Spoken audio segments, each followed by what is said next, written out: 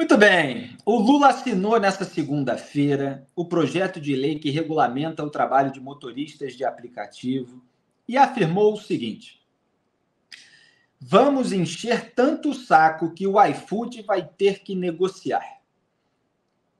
Essa foi a fala autoritária do Führer petista, que foi divulgada em vídeo pouco antes de começar o programa. Eu já falei para a produção colocar na pauta. A gente vai esmiuçar toda a discussão técnica a respeito é, da relação de trabalho de motoristas de aplicativo com as suas empresas, é, no antagonista, na Cruzoé, mas a gente precisa falar sobre essa fala autoritária que a gente vai mostrar para vocês agora. Pode rodar. A gente não pode fazer, mas a gente pode encaminhar e facilitar as coisas para a vida da gente melhorar. Esse é o nosso compromisso. Parabéns a vocês. Eu agora eu falei, o Wagner não está mais aí. Mas eu brinquei com o Jacques Wagner, que o Jacques Wagner é nosso senador da Bahia, foi governador oito anos, e eu sei que o iFood é da Bahia, o iFood não quer negociar. Pois nós vamos encher tanto saco que o iFood vai ter que negociar para fazer aquilo que vocês fizeram junto ao transporte. Um abraço, parabéns, Marinho, parabéns ao Marinho e à equipe do Ministério do Trabalho. Vamos encher tanto o saco que o iFood vai ter que negociar. Foi o que disse o Lula. Quer dizer, é o Führer petista assumindo a pressão estatal sobre mais uma empresa privada para interferir na sua relação com os funcionários. Ele está se confessando um, enche, um enchedor de saco. Né? O Lula confessou que é um enchedor de saco e ele quer todo o mercado corporativo tão dócil quanto as emissoras amigas de TV da qual Duda e eu falávamos agora há pouco, é, que são aquelas que, para receber verba de publicidade federal, fazem cobertura positiva do governo e, eventualmente, sofrem pressões é, do governo para fazer a cobertura positiva sob ameaça de retirada de verbas. Isso tudo ficava mais nos bastidores, é mais de conhecimento dos profissionais é, de comunicação, que tem até jargões para se referir a isso, como o telefone tocou, é, e, e, outros mais recentes, como o telefonema exploratório, né, que alguns é, já conheceram muito bem. Agora, é, parece que eles colocam cada vez mais as garrinhas de fora. Não é uma novidade, não. É, o Lula ele chegou a vir a público. Talvez a produção até pudesse resgatar esse vídeo, se procurar no meu X. É, tem quando o Lula pediu a cabeça de uma mulher. Pode colocar essa expressão lá no X na busca, junto com a, a minha arroba, que vocês vão encontrar é o momento em que o Lula pediu a cabeça, no termo de é, pedir a demissão, é, de uma analista do, do Santander que tinha feito é, uma avaliação da, do desempenho da economia no, nos próximos meses, que seriam os meses em que a Dilma é, chegaria ao poder. Aquilo irritou o Lula e ele é, falou diretamente é, para o, o, presidente do banco para que tomasse uma atitude em relação a ela. É, então o, o, Lula tem esse histórico.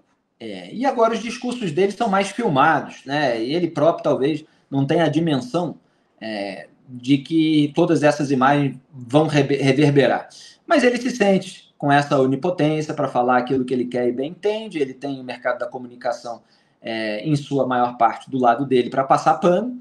E isso que na boca de um Bolsonaro renderia muita indignação e revolta por parte de analistas de TV e rádio, na boca do Lula é só uma, uma brincadeira, eventualmente um deslize, uma gafe. Ah, ele não precisa falar assim, etc. É que a, a gente chama pelo que é, seja Lula, seja Bolsonaro, seja como for, porque o nosso jornalismo é baseado em princípios que se aplicam a qualquer pessoa em qualquer circunstância. Ele está falando que vai encher o saco. Ele fala isso na postura de presidente da República e ele se refere a uma empresa privada, ou seja, vai constranger a empresa privada. Vai constranger a empresa privada a fazer aquilo que o governo dele quer que faça. Quando foi o episódio da Vale, recentemente, ele falou em nome do Brasil, a Vale tem que saber que o Brasil, isso e aquilo, porque ele, ele entende o Brasil como sendo o governo dele. O governo dele é o Brasil e o resto tem que se adaptar às diretrizes do governo dele. Nós colocamos isso aqui é, no papo antagonista. E agora ele mostra isso mais uma vez. O iFood tem que se adaptar àquilo que o governo dele quer. É, tem outras declarações, mas eu quero dar boa, meu boa noite a Carlos Graeb, já pedindo a consideração dele sobre mais essa, essa barbaridade do Lula. Salve, Felipe. Boa noite. Felipe, também me sinto honrado de trabalhar no antagonista. Antes de mais nada. Tamo junto. Deixa eu fazer vários joinhas aqui para aparecer, ver se aparece isso. aquela mãozinha. Eu não sei se com a tela dividida aparece também. Olha só, isso é bullying, né, Felipe? Tem nome, né? Isso. É bullying do governo contra a iniciativa privada. É... O Lula ele não, ele não entende né, que esse tipo de declaração faz mal para a imagem do país entre gente que poderia estar disposta a gastar dinheiro no Brasil, a investir no Brasil. Né?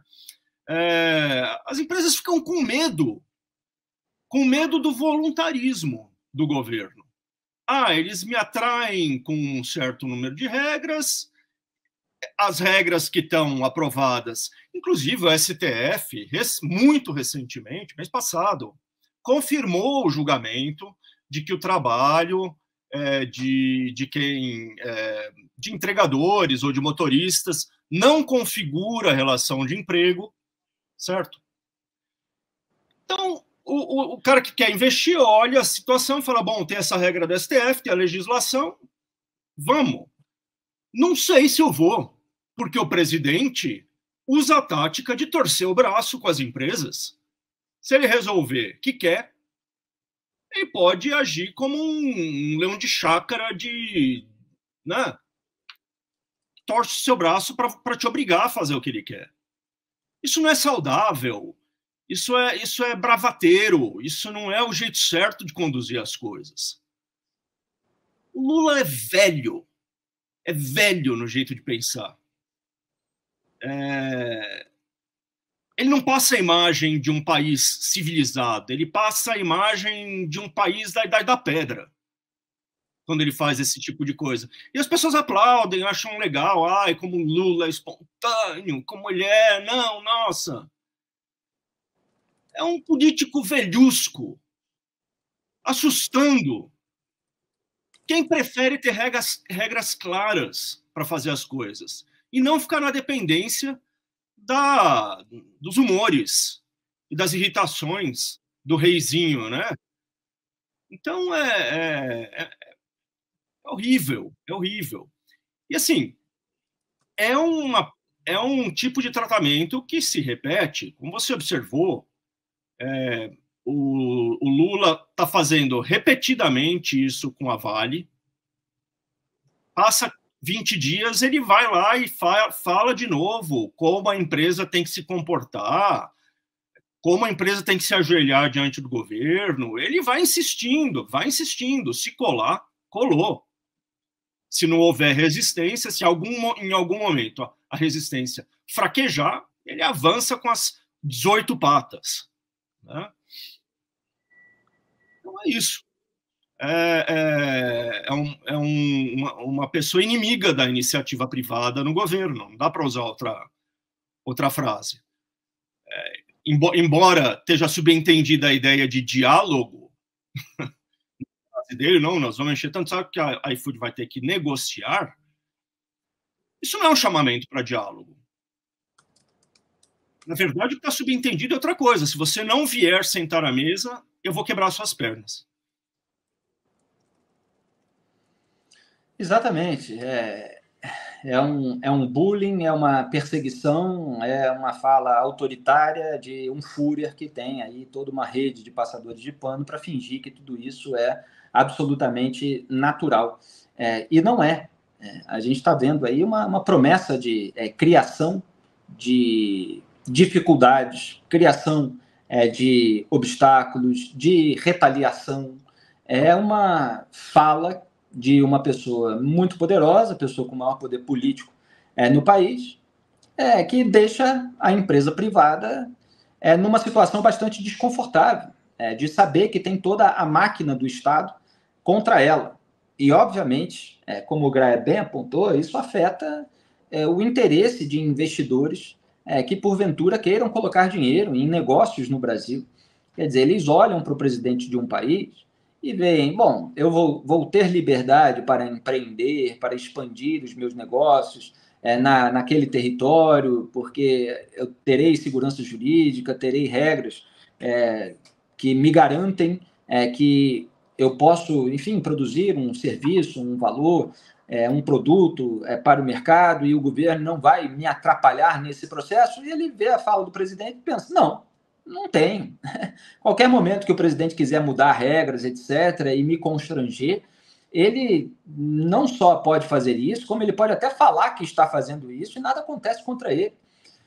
Então é, é muito ruim, de fato, para o Brasil. Eu só não acho que o Lula não entenda isso. O Lula entende perfeitamente, só que ele quer moldar o país é, de acordo com os seus interesses. Ele tem essa necessidade de controlar absolutamente tudo e achar que com ele controlando tudo vai ser o melhor país do mundo. E, obviamente, não é. O Brasil não pertence ao, ao governo de ocasião. O Brasil é um país maior é, do que isso e a, os seus cidadãos, os seus trabalhadores, empreendedores, empresários deveriam saber disso também e lutar por essa, por essa liberdade de é, poder tocar a sua vida profissional é, conforme regras naturais de uma democracia e não simplesmente é, o oportunismo, a vontade de controle daquele, daquela figura autoritária que está no poder naquela ocasião. É, muito bem, a gente tem mais complementos a respeito dessa pauta. O Lula também declarou que, em seu tempo de jovem, ter carteira assinada era como estar no céu. Será que isso mudou do tempo do Lula é, para hoje? Vamos assistir e analisar. No meu tempo de jovem, eu queria dizer para os sindicalistas do sindicato do Uber hoje, no meu tempo de jovem, como não tinha empresa de aplicativo, todos nós na década de 50, sonhavam ser trabalhadores de carteira profissional assinada. Afinal de contas, estava se estruturando a industrialização do país. Então, você ter uma carteira profissional assinada era como se fosse uma relíquia. Era como se fosse uma relíquia. É como hoje o resultado de um concurso público no Banco do Brasil, um concurso público na, na, na, na Petrobras, ou seja, um concurso público numa dessas carreiras de Estado forte, quando um jovem passa num concurso daquele, é como se ele tivesse ido para o céu, ou pelo menos aberto a porta do céu. Ter uma carteira profissional era assim no nosso mundo. Tá aí o Lula falando sobre um outro tempo. Greg, eu pergunto a você, é, com essas relações mais flexíveis atualmente entre empresas e empregados, é, e com vantagens, inclusive, para os empregados em diversas é, situações. É, dá para afirmar que o Lula parou no tempo e que, em nome da defesa dos trabalhadores, talvez ele nem sequer esteja ouvindo é, alguns trabalhadores que eventualmente se interessem em ter outro tipo de relação com as empresas? Então, Felipe, eu não sei o contexto completo da. Chato, né, falar isso, né? Mas assim, eu não sei como é a frase completa dele. Pode ser, porque o, o, o governo queria forçar a mão, mais do que forçou, e queria realmente mandar lá uma MP é, reinstituindo as relações de, de, de, emprego, né? Mas voltou atrás, até por causa da decisão do STF. É, nesse momento, dias atrás, né, é, ficou a impressão de que tinha caído a ficha, inclusive, do governo, que já não era mais universal esse desejo da carteira, da, da, carteira assinada. É muito bom, traz uma série de seguranças e tudo mais, mas que, enfim, no mundo de hoje existem pessoas, existem circunstâncias em que é, a, situa a, a situação normal de emprego né, não é a única que resolve a vida das pessoas. Então, eu, eu, tenho a impressão que essa ficha caiu um pouco para o governo. Eu não sei exatamente se o Lula, na, no total, no geral da fala dele, é, abordou isso ou se foi mais Lula, velhusco mesmo, como eu estava dizendo. Né? Eu, eu não sei. É, uma, uma, outra observação, Felipe. É, a gente conversou aqui no próprio Papo Antagonista, em outros tempos, com gente como José Pastore, por exemplo, que é um economista que sempre foi muito crítico da legislação trabalhista brasileira. Né? Ele sempre disse que a legislação eh, trabalhista brasileira era tão é, intricada e tão é, pesada que ela acabava dificultando as contratações e tudo mais. Mas mesmo um cara com um perfil liberal, como Zé Pastore, reconheceu numa entrevista aqui tempos atrás é, que seria importante dar pelo menos direitos previdenciários para quem trabalha nos, nas plataformas de, de ou de, de, motorista, né, ou de entregador. É, então essa não é uma discussão ilegítima, né? Ah, podemos dar alguma garantia, devemos dar alguma garantia para esses profissionais que muitas vezes ficam é, desprotegidos, em que medida isso deve acontecer, em que medida isso não atrapalha mesmo um modelo de trabalho flexível que agrada a muita gente, né? Exato. É de errado com a discussão. É de errado é com o tom do Lula. Claro. É a maneira como eles querem colocar a discussão. É, é não é uma abertura para é, um debate, é uma imposição é, de uma agenda é, e que existe por interesses políticos, etc. É, eventualmente até é, financeiros, mas enfim. É, a gente até conversou mais cedo na reunião de pauta, muito rapidamente sobre isso, porque era uma, um assunto que tinha acabado de sair, é, sobre você defender essa agenda petista que eventualmente vai resultar na criação de mais sindicatos e aí os petistas vão e instrumentalizam os sindicatos, depois recolhem a contribuição sindical, o imposto sindical, e aí conseguem passar a sacolinha, e depois os sindicatos atuam na campanha eleitoral. Quer dizer, é toda a criação do mecanismo petista é, de tomada e permanência do poder por meio de um discurso de suposta defesa dos trabalhadores. Quando vários desses trabalhadores gostam de ter relações mais flexíveis, que permitem, às vezes, até é, que tenham mais empregos, né, que tenham é, um horário diferente do que teriam se tivessem a carteira assinada. Então é preciso é, dar às discussões é, as, as suas dimensões mais detalhadas, com todas as suas nuances, como nós fazemos aqui. Eles ainda estão nesse mundo binário de opressores e oprimidos, que já era falseado décadas atrás e hoje em dia é, com as inovações tecnológicas que permitem novos modelos de negócio, fica ainda mais defasado, né? fica ainda Felipe, mais ridículo. Diga. Felipe, uma coisa que eu acho que o Lula envelheceu, com certeza, ele não percebeu ainda que as pessoas agora conhecem as segundas intenções, como você estava dizendo, das defesas que o PT faz de trabalhadores e tralalá. As pessoas sabem que por trás dessa defesa existem também interesses muito próprios do partido e do grupo, que não tem nada a ver com os trabalhadores. Tem a ver só com eles conseguirem se eleger, com eles conseguirem é, ter na mão grupos de pressão e tudo mais. Então, eu acho que o Lula, mais uma prova de que o Lula envelheceu, é isso. Ele ainda acha que cola tranqui tranquilamente esse discurso virtuoso do, da preocupação com os, com os trabalhadores, quando as pessoas já estão no segundo passo. Elas sabem o que tem por trás do discurso virtuoso. É, tomara justamente que as pessoas percebam é, que esse discurso supostamente virtuoso não necessariamente vem em benefício delas. E o ministro do Trabalho, Luiz Marinho, também abriu guerra contra o iFood e afirmou que não adianta a empresa mandar recado. Vamos acompanhar a declaração do petista. Os aplicativos dos, das entregas dos trabalhadores, dos motoboys, dos motociclistas, que ainda não chegamos lá e talvez seja uma categoria mais ainda sofrida do que os colegas, os companheiros que aqui estão. Mas nós chegaremos lá.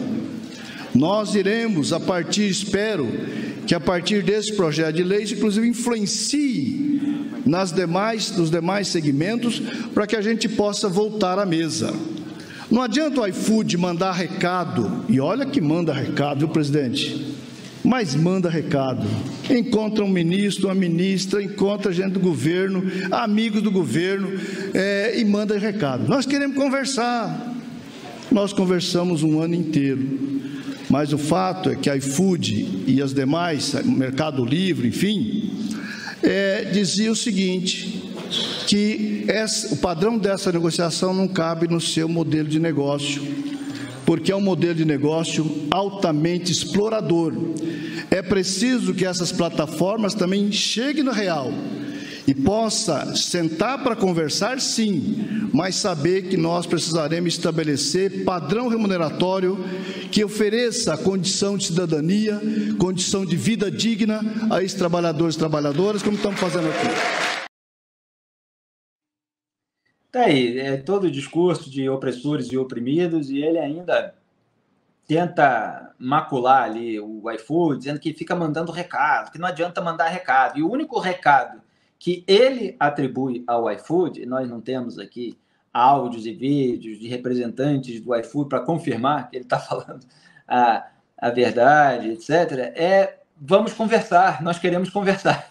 Ele nem, nem sequer consegue, de cabeça ali, de memória, atribuir uma frase que soe mais perversa para os representantes do iFood. Pelo visto, eles estão vendo que o governo está pretendendo impor ali uma nova regra, é, uma nova relação é, com os trabalhadores e estão querendo conversar. E ele fica ali afetando é, uma defesa superior dos trabalhadores da, da própria empresa né, e da população brasileira, é, dizendo que não adianta mandar recado, que nós temos que fazer isso e aquilo. Quer dizer, é um, é um governo de um país, deveria falar para o povo, deveria é, abrir as discussões de uma maneira é, legítima que não atacasse os interlocutores, mas sempre quer fazer isso, senão não é o petismo. Ele sempre quer jogar pobres contra ricos, é mesmo que, enfim, esse, esse binarismo é, fique dissonante em relação aos mecanismos modernos é, de relações de trabalho. Não é que eles não possam ser discutidos, não é que eles não possam ser aperfeiçoados, mas vendo esses discursos, parece que não é essa a intenção do PT.